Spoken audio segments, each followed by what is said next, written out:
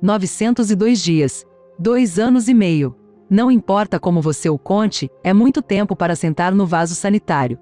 Mas isso é exatamente o que a dona de casa chinesa Mei Yan Lena fez, finalmente deixando o banheiro da sua casa depois de permanecer presa lá desde 25 de março de 2009.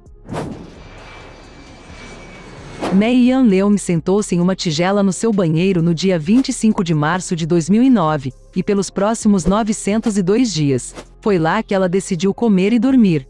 Por qual motivo? Pois bem, a mulher de 58 anos alegou que sentiu uma força lhe segurando, e disse que não entendia por que se sentia compelida a ficar no banheiro de azulejos. Ela estava completamente nua durante todo o calvário, e só tomou banho um total de 18 vezes, de acordo com seu marido Kian Yong. Além disso, ele relata que essas foram as únicas vezes que ela saiu do vaso sanitário, e sempre imaginava que, se ela saísse, as pessoas iriam atirar pedras nela ou borrifá-la com água. Kian disse ainda que ele foi a única pessoa que teve contato com sua esposa, e ela até se recusou a falar com seu filho de 27 anos, Jinji. Por isso, eventualmente, Kian decidiu procurar ajuda e ligou para os serviços de emergência que levaram a sua esposa para o hospital perto de sua casa, em Singapura. Para isso, os profissionais médicos tiveram que entrar no apartamento, segurar a Mei Yan e envolve-la em uma toalha antes de usar uma cadeira de rodas para levá-la no hospital.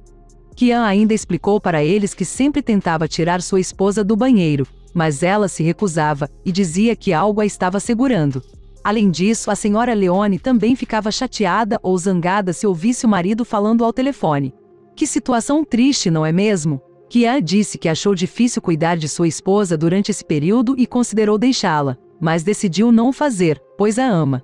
Durante sua permanência no banheiro, a senhora Leug vivia de mingau, pão e biscoitos preparados por seu marido. Hoje, não há mais notícias publicadas sobre, mas acreditamos que ela já vive normalmente em sua casa e torcemos para que continue assim. Se você gostou deste vídeo, por favor, deixe seu like e compartilhe com alguém que possa gostar também.